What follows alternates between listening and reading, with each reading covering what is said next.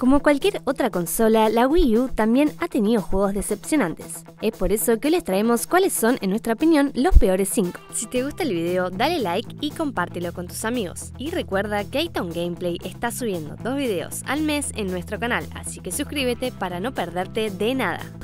¿Qué están haciendo estos muñecos?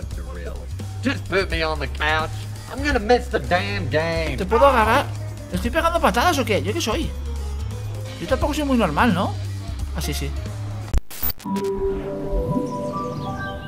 Camaleon. La premisa es excelente aunque no lo crean. Uno controla a un camaleón que tiene que atravesar áreas llenas de enemigos, utilizando sus poderes de camuflaje para no ser detectado. Desgraciadamente, el título tira toda esta promesa a la basura gracias a un nivel de dificultad exageradamente alto, y al hecho de que uno tiene que hacer harto grinding para encontrar recursos. Gran idea pero decepcionante ejecución. Ojalá saquen algún día alguna secuela que corrija todos estos errores. Sports Connection. Cada minijuego está pésimamente desarrollado y no podrían divertir ni al menos exigente de los niños. Resulta curioso que una empresa tan conocida como ESPN estaría dispuesta a asociar su marca con un juego tan mediocre, pero supongo que solo estaban buscando hacer algo de dinero extra a la volada. Muy mal.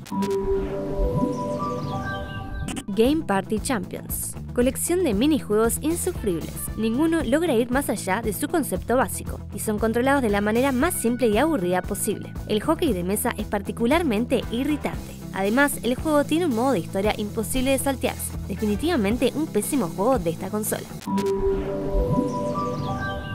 Stoneshire un título verdaderamente inservible. Imagínense un Minecraft en el que uno no puede construir sus propios mundos, con un diseño de niveles terrible, gameplay que casi no funciona y glitches por montones. De hecho, es muy posible que el juego se congele a los 20 minutos de haberlo comenzado y uno pierda todos sus avances para siempre. Así de terrible es este juego.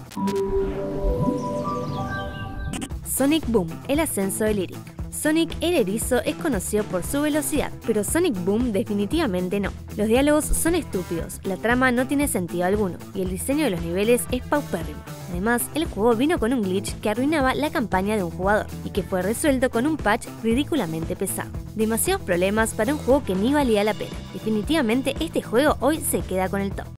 Y estos han sido nuestros elegidos como los peores juegos de la consola Wii U. ¿Estás de acuerdo? ¿Crees que faltó algún otro? Por favor, déjanos tu opinión en los comentarios. Puedes seguirnos en nuestras redes sociales de Facebook y Twitter, donde podrás elegir de qué quieres que sea nuestro siguiente top. Y si quieres ser parte de la familia de TGN, puedes ir al link de la descripción. Yo soy Florencia, hasta la próxima.